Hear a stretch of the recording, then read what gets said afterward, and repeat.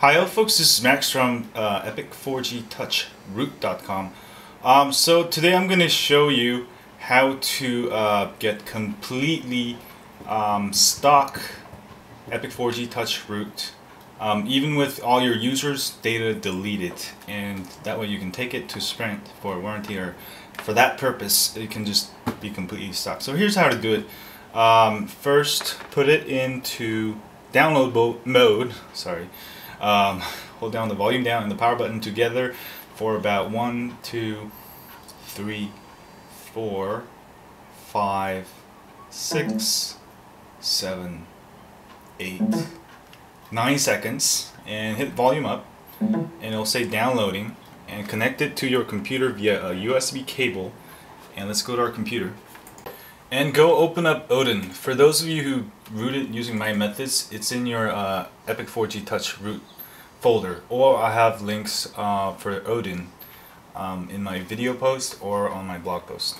And start up Odin and go download the uh, stock kernel off uh, ACS website. I have links where you can get that. And uh, hit PDA. Don't hit phone, but PDA. Is very important and that file is called the acs-eb30-stock-kernel-pol.tar. Select that, open, and hit start, and basically it'll flash the stock kernel, um, but it won't erase root. So now you have a mm-hmm. uh, stock rooted phone. Um, but for those of you who want to get rid of all the super user and app uh, and the mm-hmm. super user, and and rootedness. Sorry, I had too much. Maybe I didn't have too, enough coffee today. Uh, anyway, it will reboot, and once it reboots, I'll show you. Um, so reboot it. And we're gonna go erase uh, super user because I can still use um, set C apps like SetCPU app, as you can see, it's working. Um, so I still have root. Um, so next what we're going to do is make sure go to settings, um, applications, and development. And make sure USB debugging is checked on. Connect it to your computer.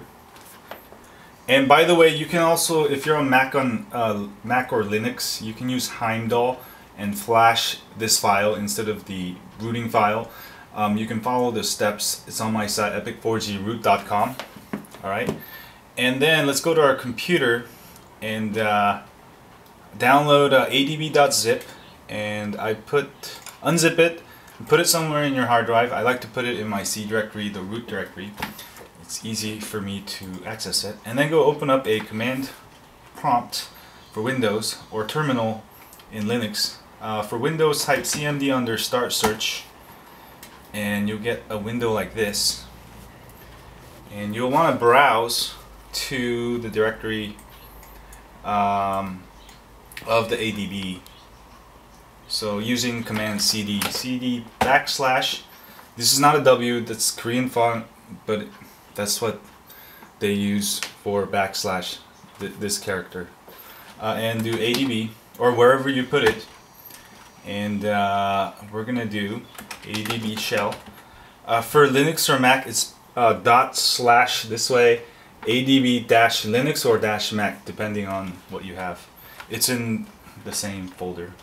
Adb shell and do su alright and then we're gonna type rm space uh, slash system slash xbin slash su oh sorry you know what?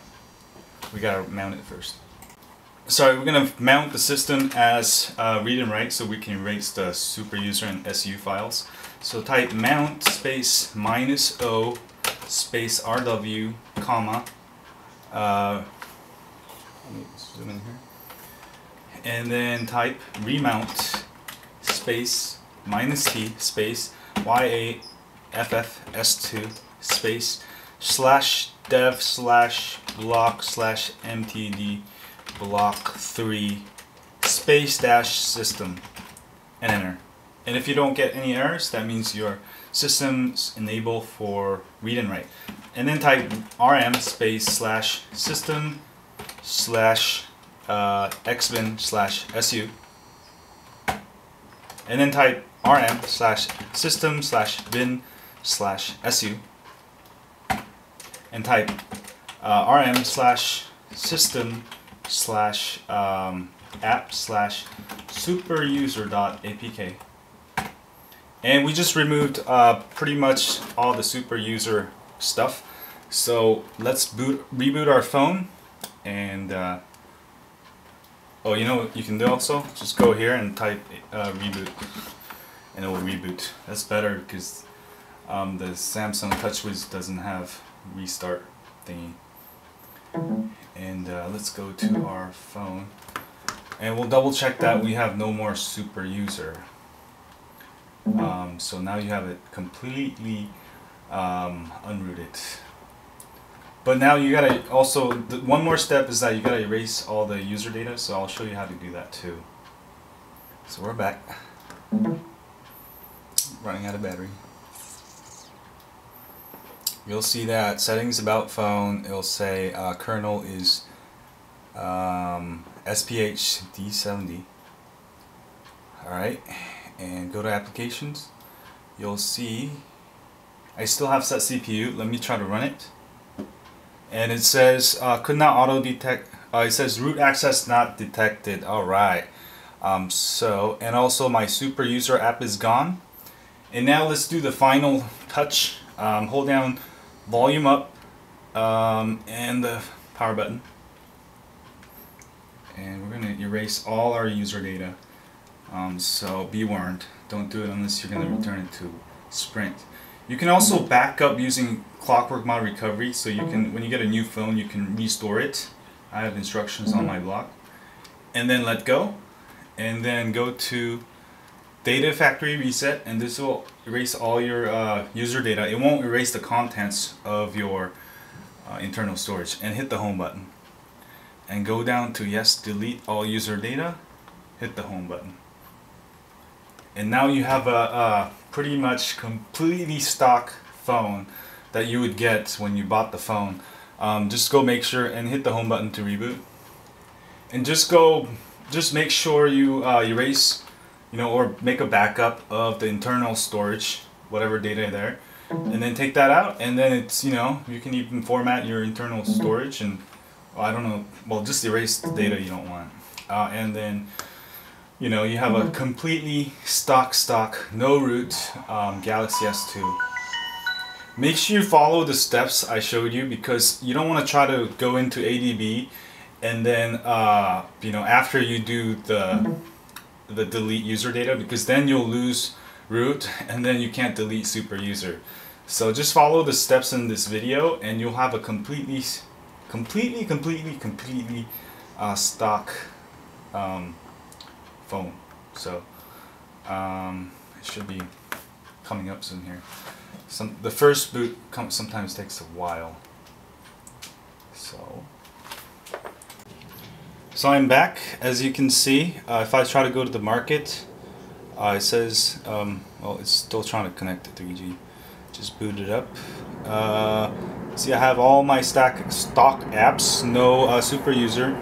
Now it's asking me for Google account. My 3G is back up. It's still doing the media scanning. Um, but that's how you get a completely stock unrooted phone. Um, and I'll have another video on how to get um, stock root for you know people um, to help people understand the process better. Uh, anyway, that's how you do it. Uh, don't forget to subscribe, and uh, good luck getting your new phone. Um, you know, and see y'all later.